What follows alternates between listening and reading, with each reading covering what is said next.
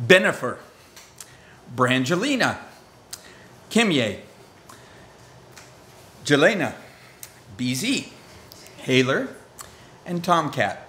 Now, you might not know what I'm talking about, but certainly some teenagers would. What am I doing? These are what are known as ship names. Okay, listen carefully. Ship names with a P on the end.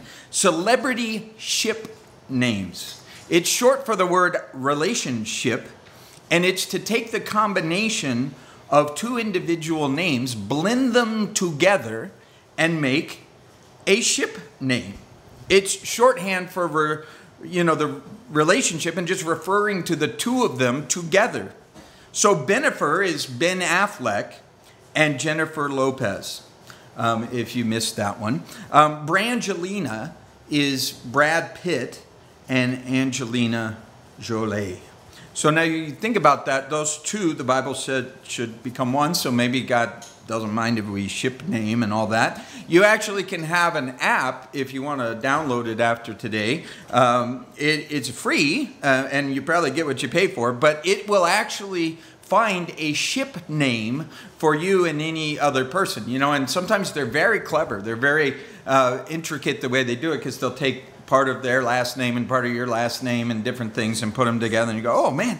And, and there's at least a, a, a thought in some people's mind it's kind of the modern equivalent. Um, maybe way back, I've heard that you'd see it in movies or something. People would dream of what their first name would sound like with another person's last name, and they'd go, Are we a good match? Well, does the name alliterate? Does it sound good? It's a match made in heaven. It sounds so good, you know, and that sort of thing. Well, you know, if you get a good ship name, well, maybe it'll work, you know.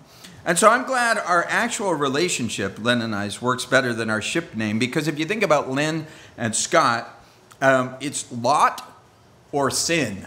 If you if you do them, and I'm like a lot of sin or sin a lot. I don't I don't know that. Okay, that that didn't work. Uh, you know, go back to the drawing board and try some different things with. Uh, you know, uh, her her maiden last name was was Sheeter, and, and you can you know only imagine some of the things. So, uh, but don't. And and so this list of blended names, you know, again that I read, what what you know if you know anything about celebrities, sadly those ships, most of them shipwrecked.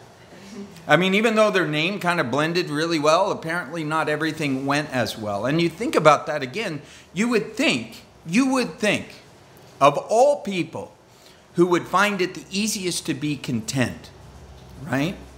It would be these beautiful, blessed, talented, amazing, incredible people, right? I mean, they are, in so many cases, blessed with finances and, and physicality and just all of these things that you go, well, that, that would be easy because you got a person who's content and then they get with another person who's content and what do you know there's just contentment to spare and it's just amazing right but we know a little bit better right? And so that's why i wrote this word the way i wrote it which is real asian ships okay? I like to again play with words but real relationships real relationships.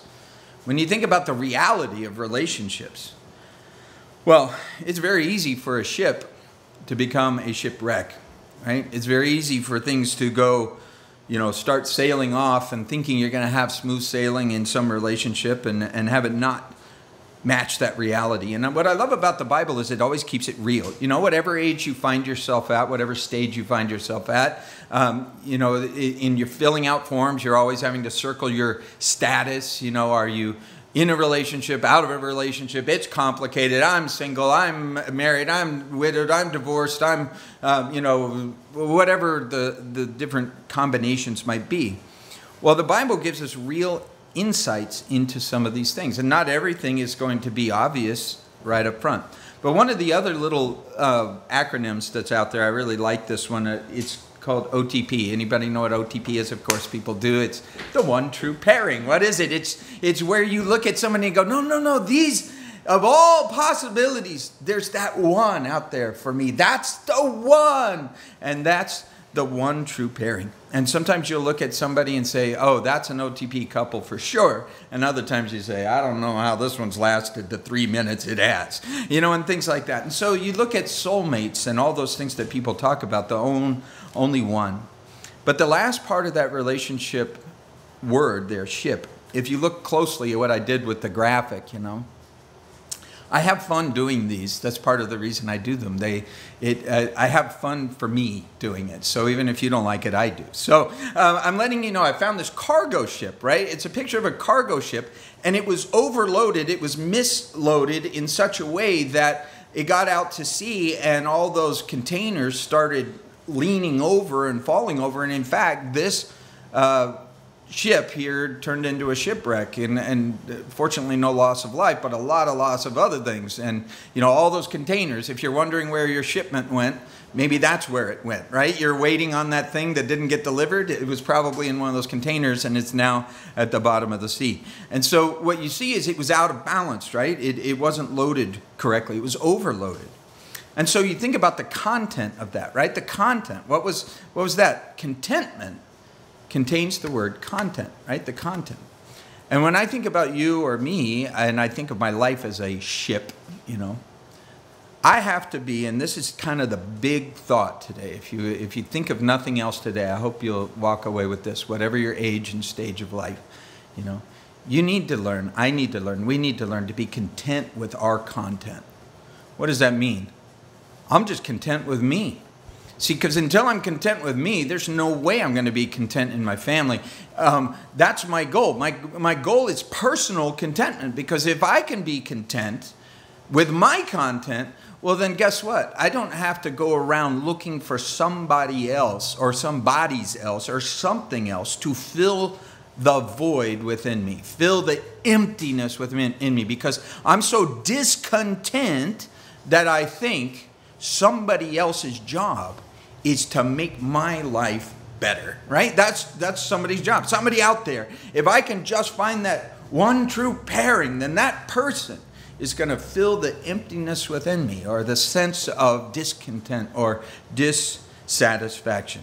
Seeing when I think about that, again, that's a pretty interesting thought. Just to say, am I content with my content? Am I looking to be fulfilled through somebody else? Or has God given me all that I need, in a sense, to be content in myself?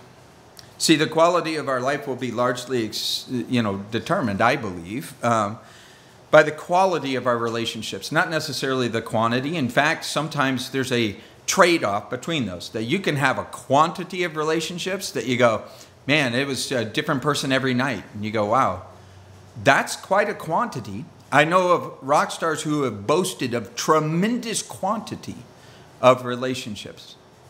And yet you look at your, their life today and you think, well, would I want to be them? Are they content with their content? Apparently, in some ways, not. And so, so many of them ending even their life because of discontent. And yet you say, man, so much content in their life. How did that happen?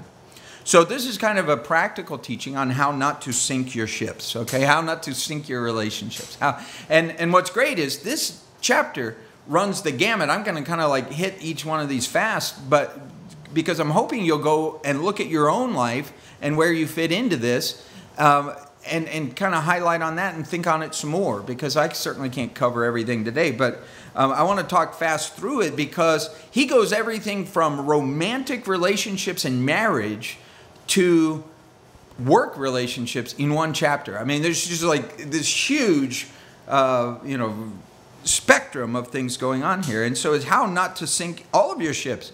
Because again, ships, even in the in the ship world where kids talk about that, it's not always romantic relationships. Sometimes they're talking about the delicate thing between these two friends who are always like back and forth and which one's gonna like really win out in terms of their personality is going to be the dominant one in the relationship and all that stuff. So I mean, it's it, you know, it's a big word, ship.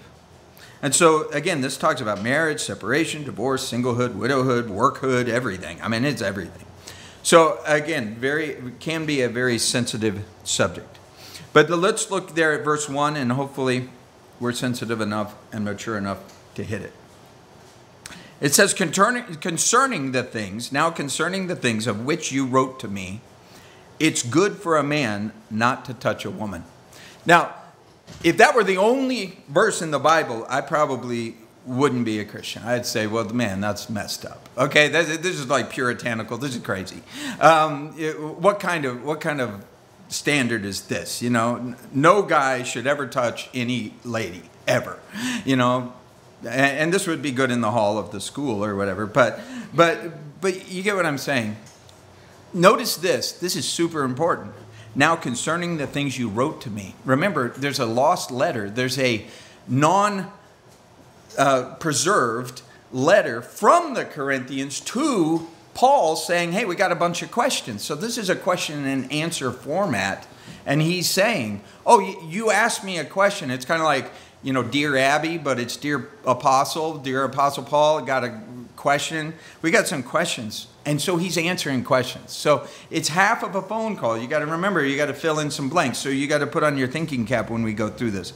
So if that's all it said and someone were to lift that out, they might have a very different view of what God thinks about all that. Um, growing up, we had cootie spray. I don't think kids do that as much anymore. It's it was a very analog thing, but it was it was cootie spray. Like if a girl sat somewhere, you would spray it, right? Because ew, gross. And somewhere along the line, I don't know where it was, but we stopped spraying for cootie spray, and we all of a sudden started spraying things that made us smell better. So we're like, hey, all of a sudden we thought they were gross, and then all of a sudden we didn't want to be gross, right? When does that happen? How does that happen? Well, you know how that happens. But were the Corinthians concerned about cooties? Was he saying, "Hey, don't don't touch"? You know, that's like gross. No, he was he was answering a philosophical question that was rampant in their day, which is: Is physicality good or is it bad? Does God promote it or is he against it? Is God a killjoy? He doesn't like anything that feels good. If it feels bad, it's God. If it feels good, it isn't. Right? I mean, there's people who live that way and think that way. They, they were called the ascetics, if you don't know, in, in Greek philosophy. It was basically abstain from all forms of pleasure. If it feels good, don't do it. That was their Greek philosophy. And then there were others. Um, the Epicureans were their names. They were the ones who, would, if it feels good, do it. I mean, they were like, do everything. And then there was a group of people saying, no, do nothing. So there was these extreme views, right? They remain to this day. So their question, you might say, is who's right, who's wrong? Are ships bad? Is it bad to have a ship? Is it bad to want a relationship? Is it bad to have desires and physical realities to our life? Is God against all that? That's, that would have been the kind of way we would ask that question. And so I wrote down this thought if you're single in the room or you ever, you know, might be or whatever. I wrote down this a single should not be pressured to mingle. what is he saying here? Don't, don't, don't buy into this thought that I will be content if I can just find the right person to make me content because I'm so discontent now. And, and this is it. There are people who have a hyper sense of emptiness unless they have a relationship. They don't even really think too much about the quality of it as the quantity of it. I have watched this with my own eyes in the hallways right down the street here, but it could be true anywhere. Doesn't matter what age. I'm not just trying to point at teenagers or young people. The truth is, there are people who just aren't complete without another person there and, and generic other person there. I just need somebody to be that body. And you go, well, wait a minute. A single shouldn't be pressured to mingle, not from inside, not from outside. You know, outside in Jewish society, there was a strong thing, and I won't, you know, try to be too stereotypical, but come on, this was the idea of the uh, you know, you're getting on in years. You're like 12 now. You know, it's time to start thinking about these things. And you're like, what? I mean, they were married much earlier than we were. They were arranged marriages. So remember, context. Think about what he's writing to. He's writing into people who their cultural heritage was maybe very one way, and then here they are in Corinth. They're displaced into Corinth, and Corinth is anything goes. And then they run into people who say, no, no, God's not into that stuff. And, and it's just very confusing for him. So he says, you know what? It's good for a guy not, not to touch a lady. Now, the literal translation there is to attach oneself to. This is not like, hey, how, how are you? Nice to. It was, it's good for a guy not to cling to a, a, a lady and just like randomly, you, you'll make me content, you'll make me happy. Ah, desperation is not a very attractive property. And so a single shouldn't be pressured to mingle. It's okay to be single. It's great to be single. Single is good.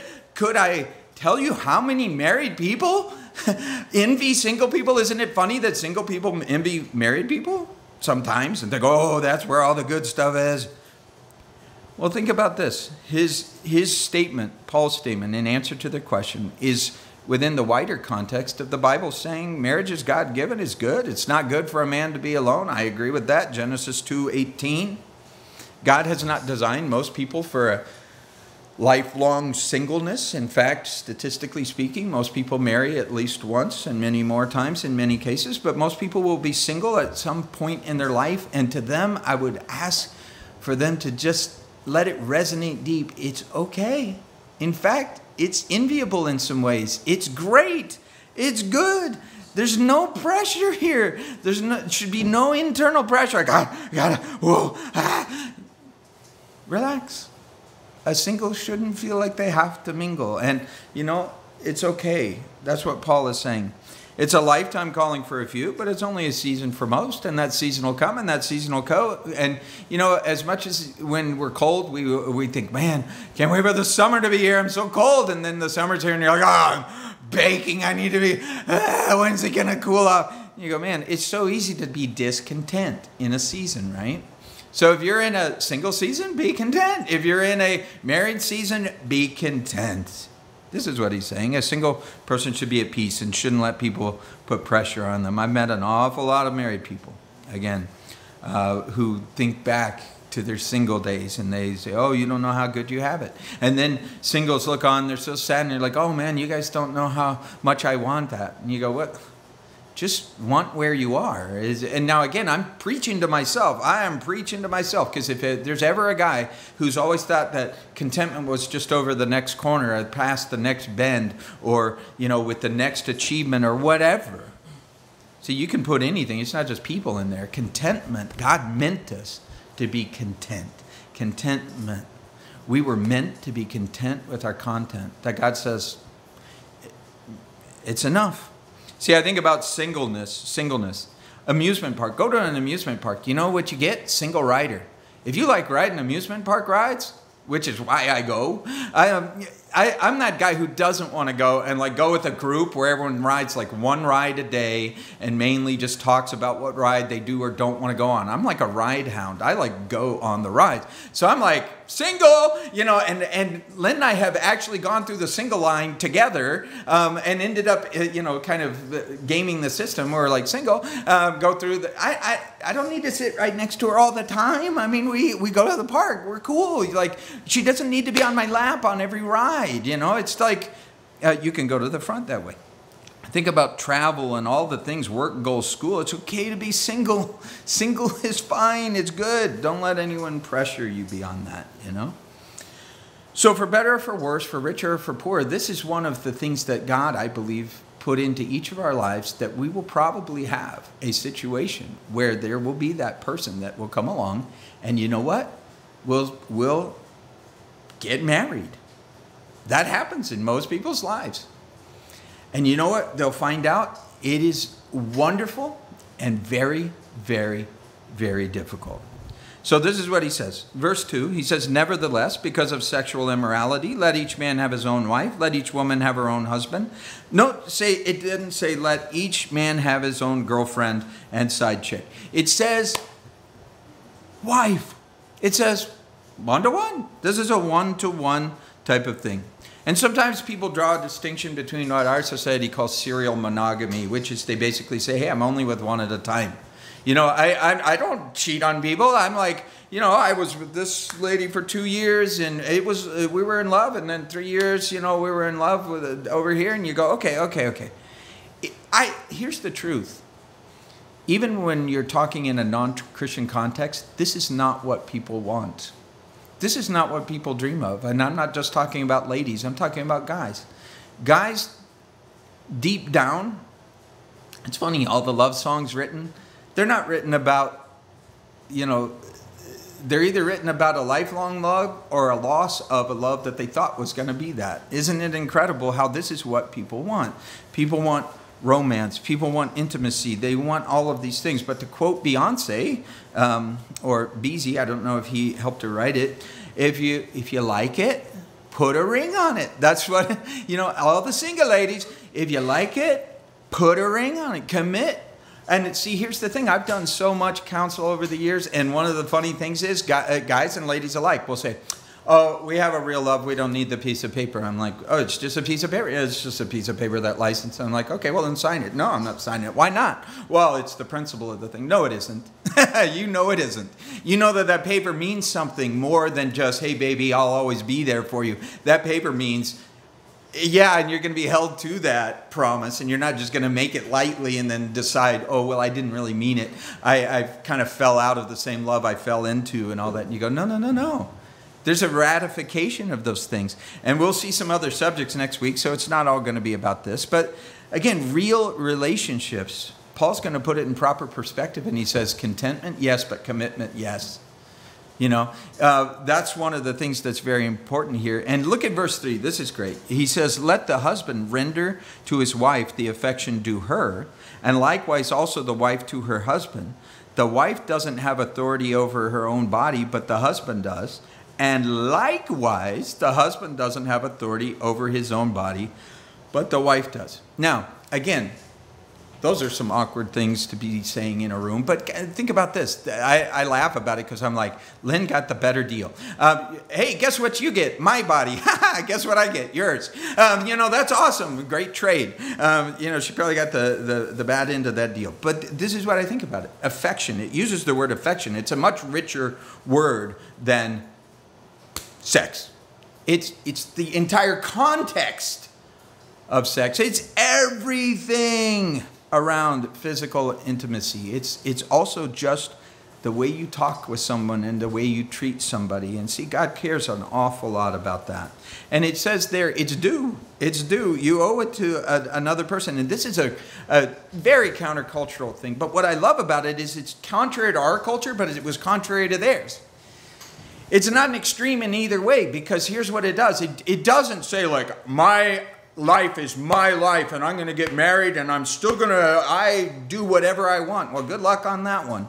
Okay, so you, you want to get married or pair with some person and still remain you and do your own thing. And you go, why don't you just stay you if you're going to do that? See, I mean, marriage is a decision, a choice to say, I want to give everything that is me away to another person. I'm releasing my right to be me to another person. You go, well, if that was a one sided relationship, that would be a pretty dysfunctional, very difficult, challenging, crazy thing. But guess what? They're doing the same thing. It's two I do's. It's two I do's. And if there's any I don't in the I do, man, that's going to turn into a ship wreck. You want to know how to wreck your relationship? Go into it thinking, I retain all my rights to be right on whatever level. You go, well, that'll be a wreck. But if you say, I release my rights, and if the other person releases their rights, you know what's amazing? It becomes, there's plenty of blessing to go around. But if each person is like taking money out of an ATM, If it's all withdrawals, well, I withdraw. Withdraw emotionally and physically and spiritually from you. I'm withdrawing. If one person withdraws, well, they're going to go bankrupt. And if both withdraw, they will go bankrupt quicker. But if both deposit freely, saying, hey, it's our account, it's our life, it's our emotional health, it's our situation, then guess what? That tends to be a ship that sails and sails well. So this is what he's saying. Let them let them understand, uh, you know, likewise, likewise. I wish I could relate to you today how radical this concept was in the day it was written. So always read the Bible in its context. This was crazy radical because in those days, marriage really wasn't about love, it was an economic arrangement. I mean, go back and do your history lesson. It, it was uh, how many cows for this kid. You know, I mean, it was arranged stuff. It was all that. It wasn't all the romantic things that we have around it. And so here, Paul is giving power to a lady that did not exist in their day. He's saying, you know what? Husbands, you don't just own your wife. Guess what? She owns you. You own each other. Both of you. It's a common thing. This is not one way. It doesn't put the woman in control of the man, it doesn't put the man in control of the woman. It says, you guys both relinquish control.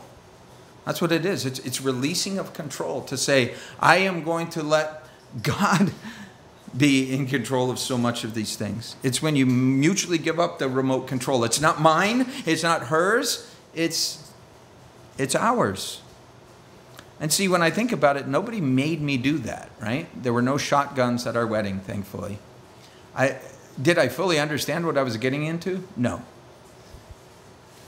But I would have missed on the greatest blessing of my life if I had thought it through too much. See, that's what I love about this. I wish I could convey again how important the yours, mine, ours is. Whenever I would talk with couples, and to this day, when I hear a lot of I, me, mine, I go, oh, I, I, I, I, I. Um, when you know it's well her her son was like this and her and she and her and you go whoa what about our? These are uh, these are you know blended words are very important because they talk of blended mentality. And so god designed marriage. He blessed it. He built all kinds of blessings into it. But this is what it says in verse 5 don't deprive one another except with consent for a time, that you may give yourselves to fasting and prayer, come together again so Satan does not tempt you because of your lack of self control. Again, the Bible's very reserved and it's, it's speaking, you know, it doesn't just like, it, it's not raunchy ever. But what's it talking about here? It's clearly talking about sexuality, right? And it says, don't deprive each other. Don't, the word is defraud. Don't like rip a person off. You're like ripping someone off if you are in a relationship that has any of the three parts that God intended, which was spirituality, emotion, and physicality, he meant all three of those to be together. And again, if somebody emphasizes one to the extent of, or, or to the exclusion of others, the Bible says you're out of balance. That ship will wreck, and that ship will not sail very far. And again, there's all kinds of, of difference between folks and people within that thing. And that's why it doesn't really it leaves some to your imagination which it should.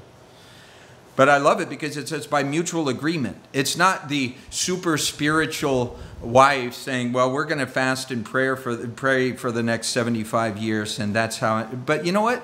That's even by choosing it that way didn't I go with the stereotype that the Bible knocks down, which is it never has the idea that guys like sex and women don't?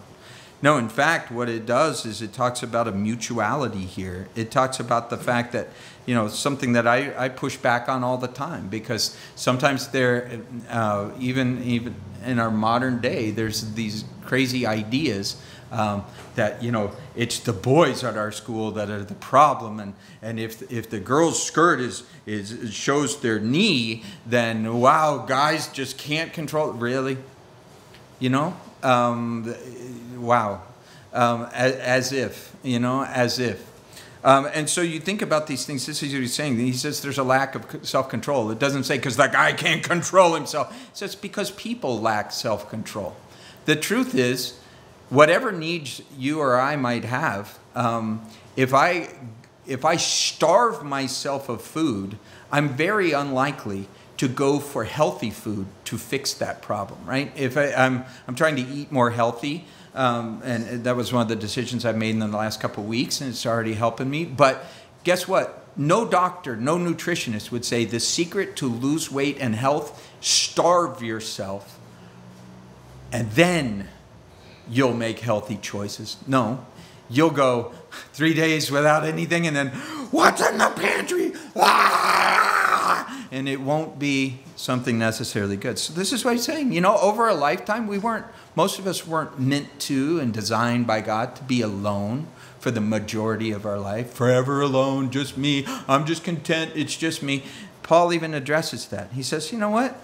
You should be in a relationship that flourishes spiritually, emotionally, and physically.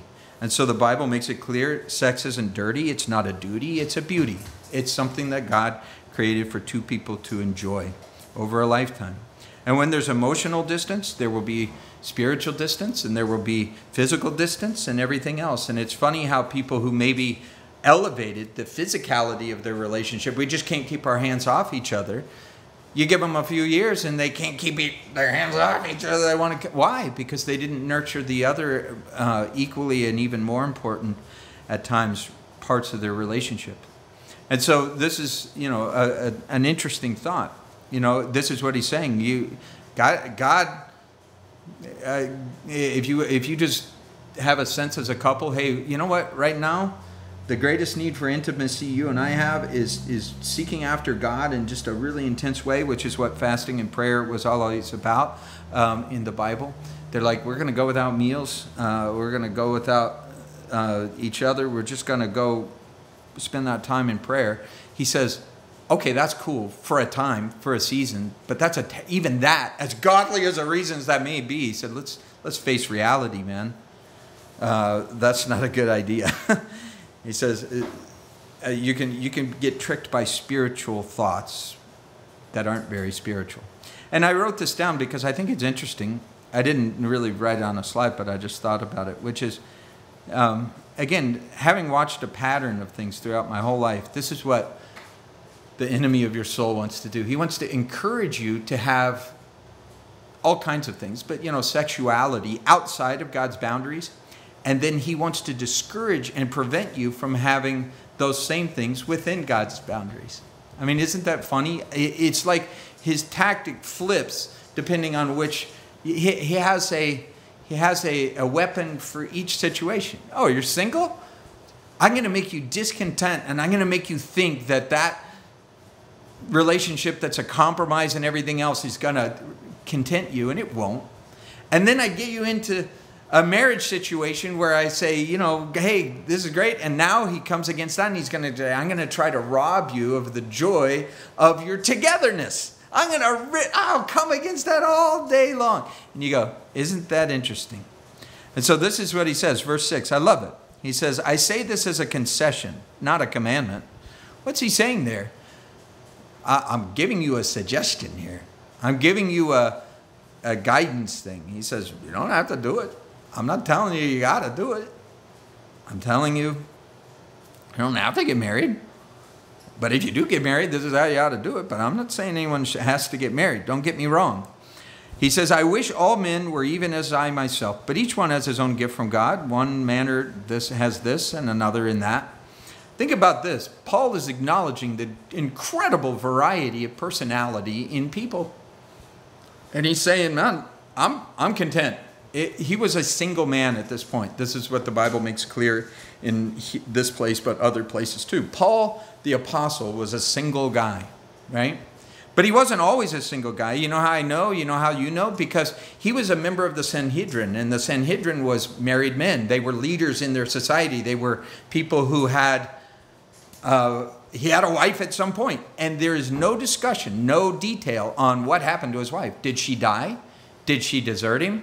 Did she decide, I liked prominent Paul, the Sanhedrin leader with uh, the status of all that in our society? I don't like prisoner Paul nearly as much. I don't like uh, Paul who didn't have as much uh, as he used to have. And, and, so who knows? Did she die or did she desert or did she do whatever? I don't know. But she is never uh, mentioned, and he says he is now a single man. We know that Paul didn't ditch her because he talks about it right in here. But think about being happy with your gift. This is what he's saying happy with your gift. Growing up as a parent, um, and even it's at every age, but I know this if you get a happy meal, if you want to see two kids get unhappy, go get one happy meal uh, where there's a different gift in each of the happy meals. It doesn't matter which one they got, but they're both mad at what the other one got. Oh, I like what they got. Well, I like what they got. No matter what you got, you're never happy with your gift. Uh, that's a very interesting thought, you know. Um, but I think about my gift. My gift is certainly not singleness. And it's for, for a million reasons, but one of them is um, I would wear the same shirt every single day. Um, and it's not even that Lynn does my laundry. Don't get this kind of crazy. I, I, I, for the most part, I do my wash, right? But I would just, I, I sort of need a little help now and then to say like, wow, that's, I love that shirt, but um, I love some other shirts too. Uh, you know, and just little thoughts that are so helpful that I'm like, really, uh, which ones do you like? And so when I think about all the things that have come into my life, kids and all the rest, married life suits me well, right? But this is what Paul says. I, I wish everyone was kind of content wherever they are, but not everyone is. You know, some people really think, oh, no, no, no, I need more. I need more of this and more of that. He says this, verse 8 I say to the unmarried and to the widows, it's good for them if they remain even as I am. But if they can't exercise self control, let them marry. It's better to marry than burn with passion. What's he saying? It, it's better to marry if you want to marry than it is to not marry and think that God is going to be mad if you do. This is what he's saying. He's saying, You want to remarry? Remarry. But he said, I think you probably, uh, you know, I think about it this way. You know, what couple doesn't do this stuff at every age? You know, it's the if I died, would you remarry? And all those silly things. And you know what? Uh, I, I hope I never get to answer that question in reality, but seriously, I wouldn't be in any rush. Uh, Lynn you know, dies. I hope she won't. Um, but she does. I'm not gonna be like, I gotta get married tomorrow. Ah! I'm just like, hey, wow, uh, okay, uh, here I am. Uh, try to be content in yourself. Meet someone else. Maybe I don't know. Is that awkward? Is it strange to say all that? I don't know. But this is what he's saying. He's saying, man, I, I kind of tell you, you might be perfectly happy um, you know, with the good memories, but not having to put up with them leaving their shoes where they leave them and all that kind of stuff. I mean, my wife has to move a lot of shoes. I'm just, I'm digging in a hole and I'm, there's no way out. But here it is contentment. Um, verse 10. He says, the, the married, both believers, I command this, yet not I, but the Lord. A wife is not to depart from her husband, but even if she does, let her remain unmarried or be reconciled to her husband. And a husband's not to divorce his wife. What is the context? Please remember, again, question and answer. They said, Yeah, but what if she just can't take it anymore? He says to the married, he's talking about two believers here. He says, uh, Yet not I, but the Lord. He says this God's made it clear believers aren't supposed to uh, you can't say i'm a believer but i'm going to believe in her. Well I, I, guess you're not acting like much of a believer if you're doing that. What do you mean? He's saying if you're married stay married. The, that's a direct quote from jesus. Matthew 19 it's easy enough. Divorce uh, what he says these are the things that lead to it. Adultery death or desertion. He says you know if somebody leaves you can't hold on to them but you can't if you're the leaver then you are in control of that and that's what he's saying. If you're a believer, don't leave her. He says, What's, what's the big there? You promised, keep your promise. But they didn't keep their promise. Okay? That's them, that's not you. Verse 12, but to the rest, I, not the Lord, say. This verse, you ought to circle this verse somewhere in your mind. Verse 12, 1 Corinthians 7. Why? He says to everybody else, I'm talking to everyone else, he says, I, not the Lord. Is that a crazy thing to be written down into the Bible? What is it saying? Paul is basically saying, I don't have a direct Jesus quote on this one. I don't have something Jesus already said that I'm just pointing you to Matthew 19 and saying, here's what it says about relationships. He's expressing a perspective. He's expressing a thought. He's expressing a godly man's perspective on a topic. But he's not saying, Thus saith the Lord. In fact, he's telling you, No, thus saith the Paul. I'm not saying, Thus saith the Lord. I'm saying, Thus saith Paul. Now, depending on your, your view of Scripture, I view it as if Paul said it and God preserved it, um, it's also the Lord saying it because this is God's word.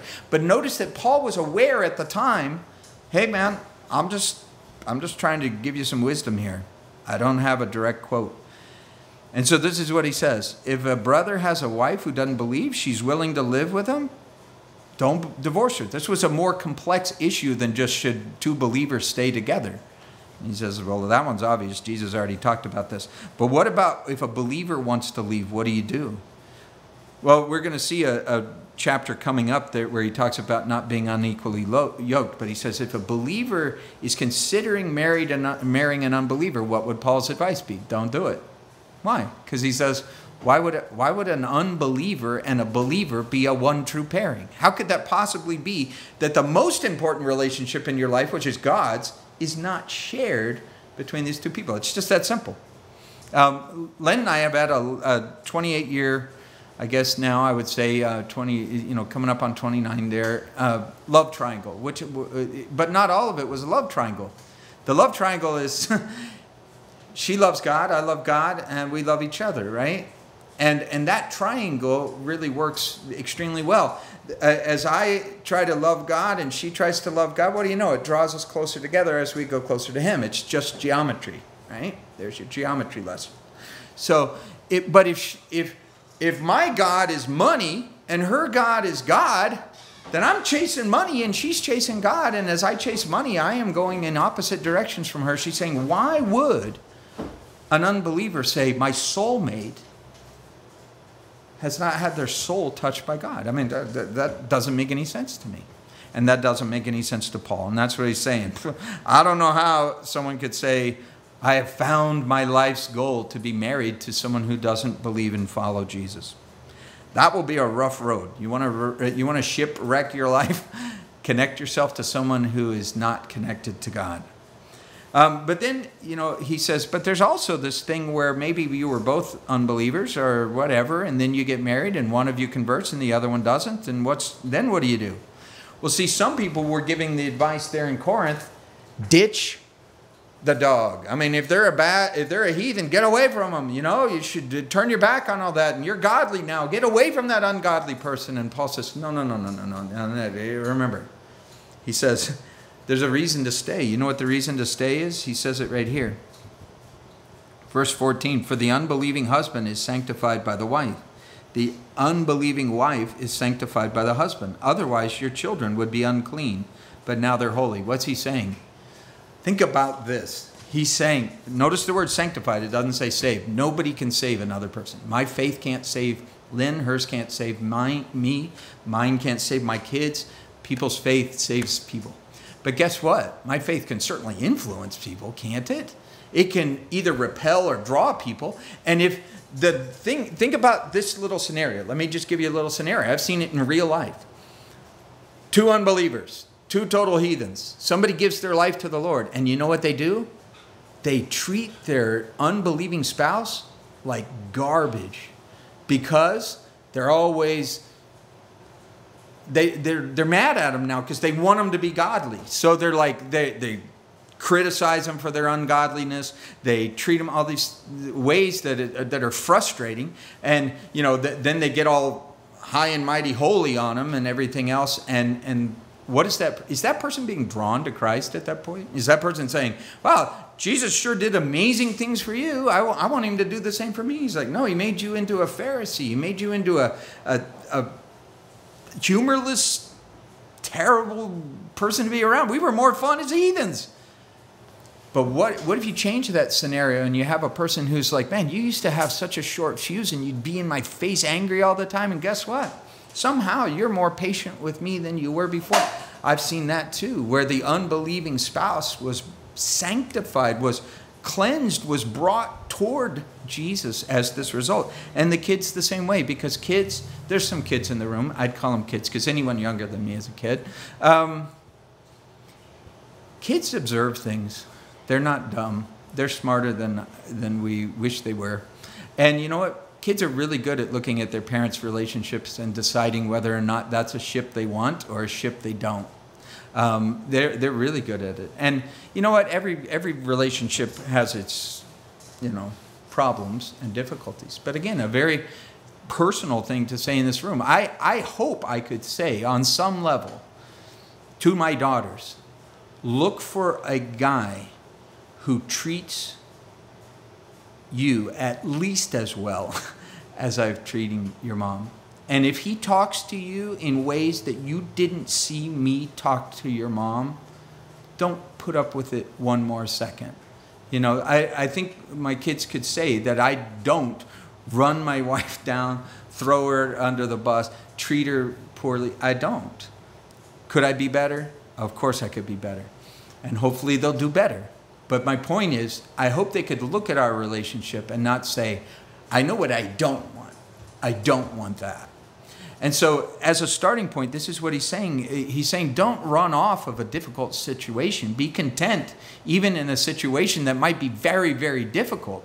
Because if you've got the content of Christ and there's someone else who doesn't, boy, they ought to be able to look over at you and see something they want. Okay, so now we come on over here to verse 16, 17. He says, For how do you know, O wife, whether you'll save your husband? Again, Jesus saves husbands, but he's using the point how do you know that your influence would not lead to his salvation? How do you know, O husband, whether you'll save your wife?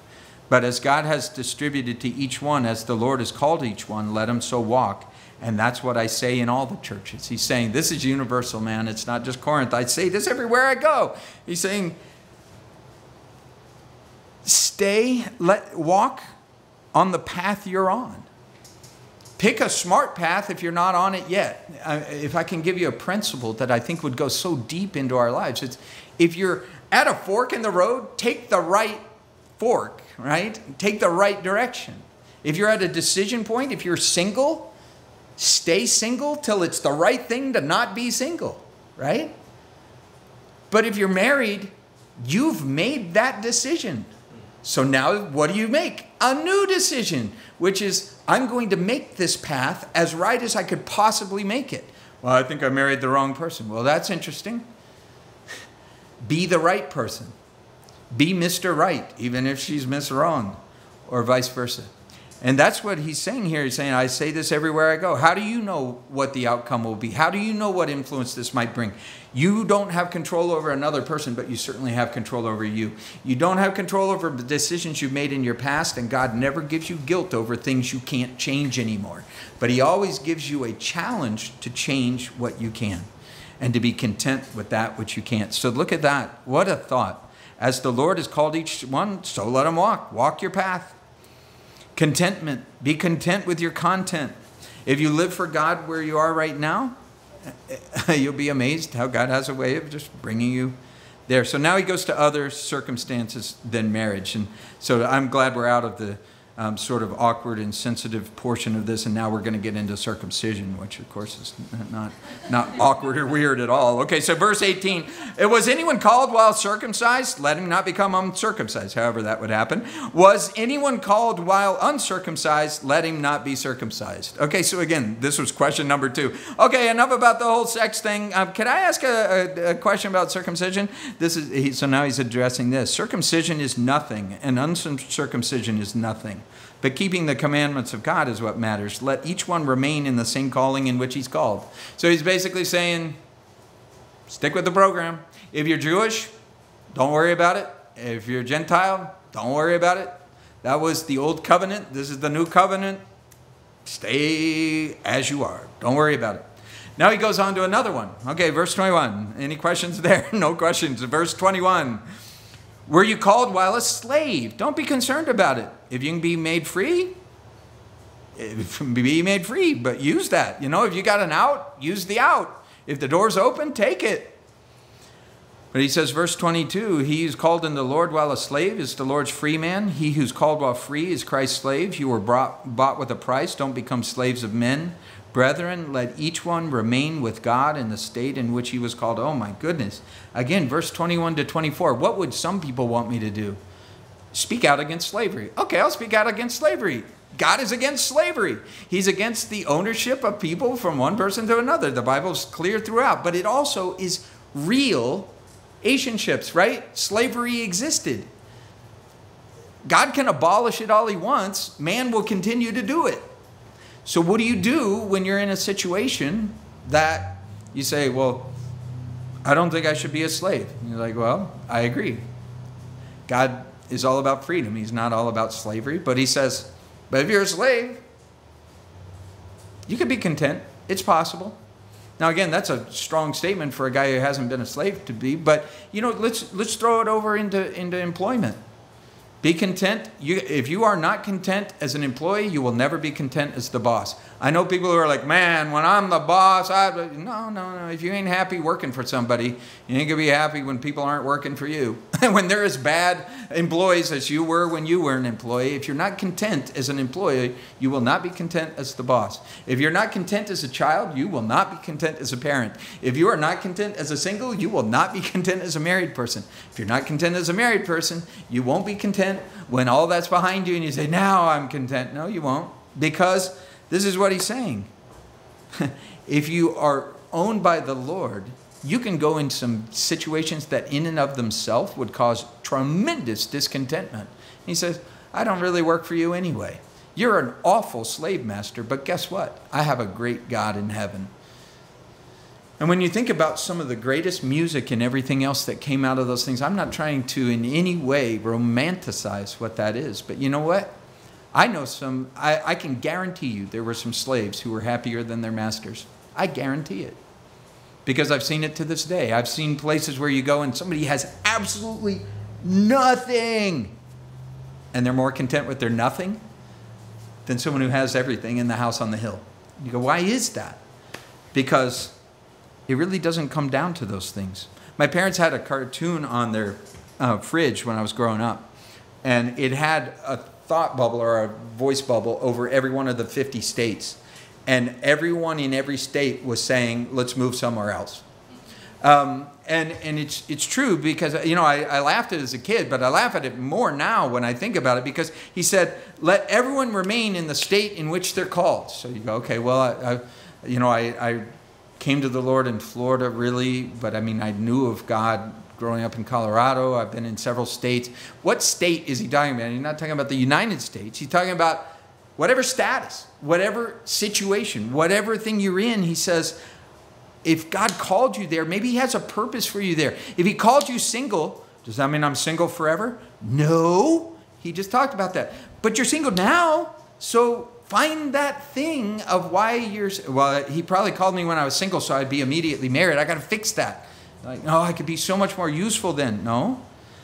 If he called you married, be married. If he called you in, in, in a, you know, retirement, stay retired. That's what it's saying.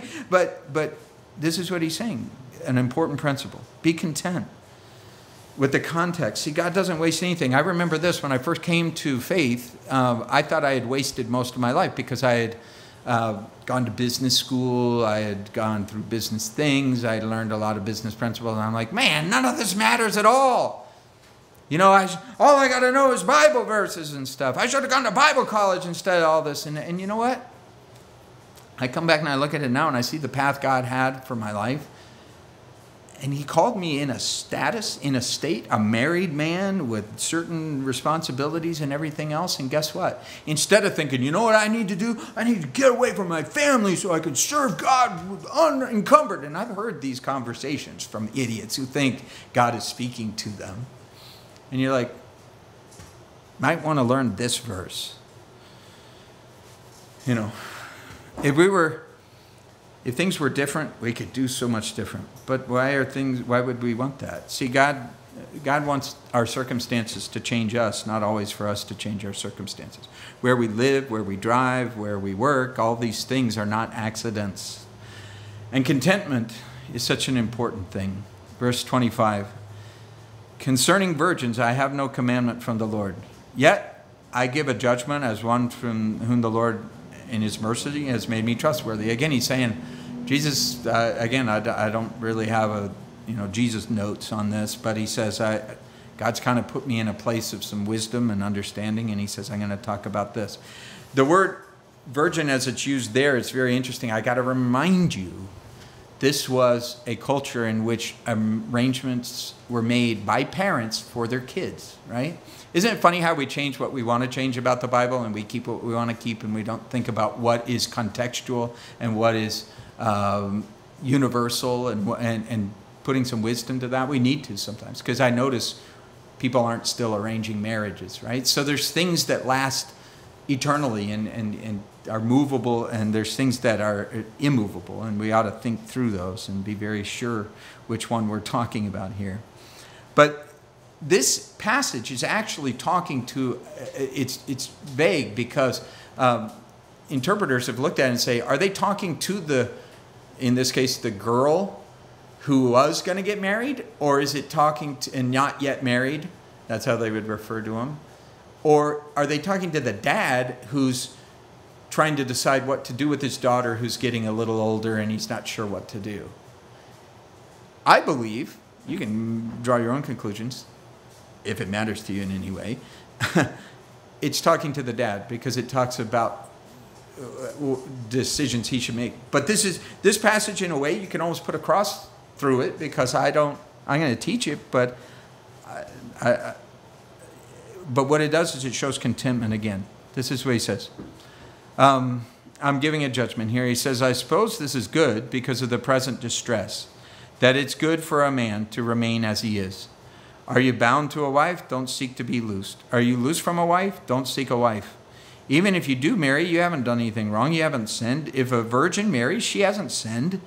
Nevertheless, such will have trouble in the flesh. I would just spare you. So he's kind of talking to young people, but he's also talking to the parents in it. So it's, it's the whole family he's talking to.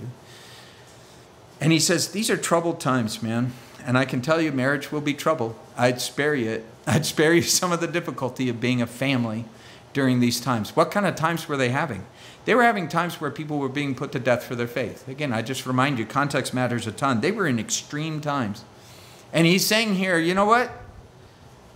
If you guys are going to be chased out of town, it's going to be really hard if you're carrying kids on that. You're going to carry a weight that's so much more than you would if you just had to make a run for it and try and spare your life here. There was persecution going on. It was written right before a major persecution of Christians in the historical context. There was a lot of things. So picture again Syrian refugees. Picture wherever. It's pretty easy to picture some of these things worldwide.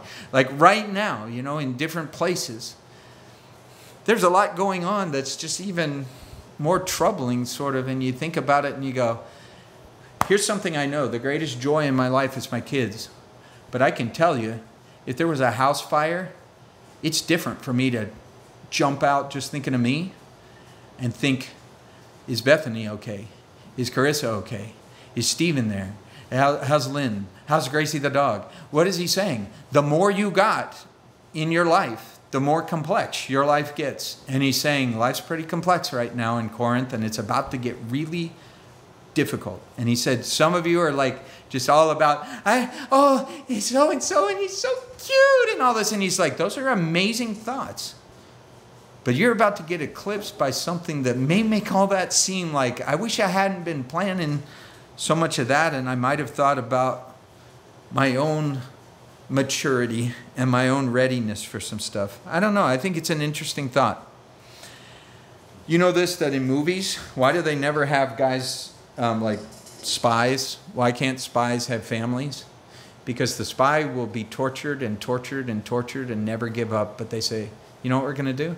We know where your daughter is and we're going to go kill her if you don't tell her. And all of a sudden, this tough guy is weaked out. Why? Because our relationships, if we value them, they have the capacity to bring us the greatest joy and the greatest sorrow. And this is what Paul's saying. He says, This I say, the time is short, so that from now on, even those who have wives should as though they have none. Those who weep as though they don't weep. He said, You, you got a bad situation? Don't worry, it might be over soon. He says, Those who rejoice, don't rejoice too much, um, as if you it would go on forever. Because he says, verse 31, those who use this world don't misuse it. The forms and fashions of this world are passing away. What is he saying? I think this is why this passage applies to everyone, whether you're single, married, divorced, uh, you know, hoping to, to be something that you're not, um, wishing you were somewhere else than you are. He's saying, time's short, man. Time is very, very short. And singleness is a season, but the life season is over pretty fast too. And I've been really grateful to have seasons uh, where it was just me, uh, seasons where it was just us, just Lynn and I, just the kid. Now we're getting into seasons where it's like uh, there's they're around less often, and you're like, eh, you know, and, and, and you just realize, hey, seasons come, seasons go, enjoy them, but don't hold on to them because seasons come and seasons go. This is what he's saying. Don't think this life is to be held on to because of that person making you content. If you can't be content through every season of life, there's going to be seasons in which everything goes great and everything goes terrible. And see, this is what I think about. These are these are real words. I'll close it out here, verse 32 to the end. He says, "But I want you to be without care." He who's unmarried cares about the things of the Lord, how he may please the Lord. In other words, if your relationship with the Lord is contenting you, you're, you're just all about how, how can I serve God? This is what Paul was doing. He's like, I, I don't have to ask, hey, kids, you want to go do this? He, he just did it, right? He says, but he who's married cares about the things of the world, how he might please his wife. Nothing wrong. This is not condemned, it's just described. He says, you know, you have to ask, how is this affecting everyone around me? And he says there's a difference between a wife and a virgin. The unmarried woman cares about the things of the Lord, that she may be holy both in body and spirit. But she who is married cares about the things of the world, how she might please her husband. He's just basically saying, if it, you know, single people, it's a little simpler. Simple single, complex married. I say this for your own profit, he says, verse 35. Not that I might put a leash on you but what's proper that you may serve God without distraction. And again, I'll just read through this section because I think you'll gain from it, but you might also just say, I don't know that has anything to do with this today.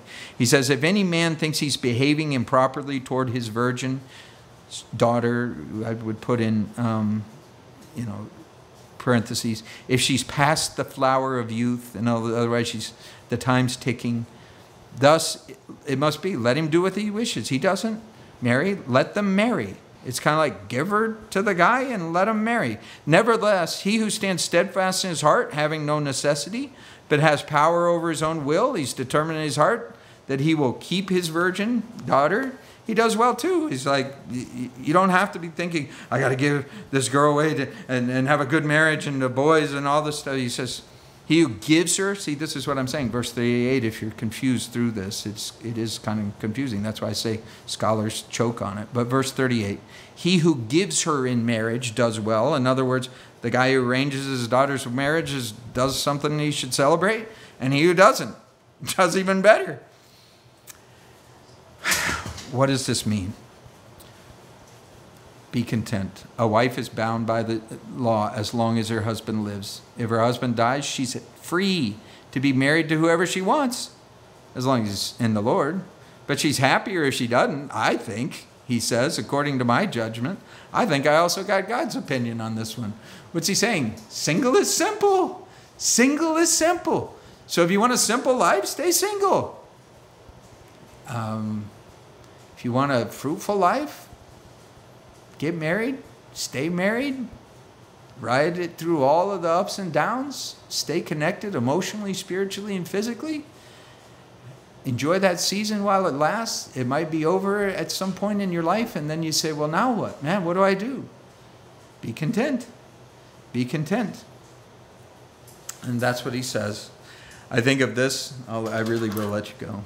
Yes. You'll be content when I let you go. But I, I knew some guys in Miami that banded together. They were going to be a band of brothers called Raptures, uh, Bachelors Till the Rapture. Um, their whole idea was, you know, don't need no girl. We're just going to serve the Lord. We're going to do this. Uh, it's disbanded, by the way. It's slowly disbanded. It, it, disbanded each time each one of them got a band uh, on their uh, on their finger, you know. And now they're they're not bachelors to the rapture. The rapture hasn't come, but they're they're uh, it's amazing. They're fruitful in what they're doing. And what was great is, you know, they were single for a season and they made the most of that. And I see them now married for another season and they're making the most of that. And that's, that I think is, if you boil this chapter down to a single thought, it's that be content with your content. Don't overload your life. Get out of balance and have it, you know, think, I, one more container will make me satisfied. And maybe that's what they did. Just one more, just one more. I just need one more relationship. And down it went. So quality, quality, quality. Thank you, Lord, for all that you do.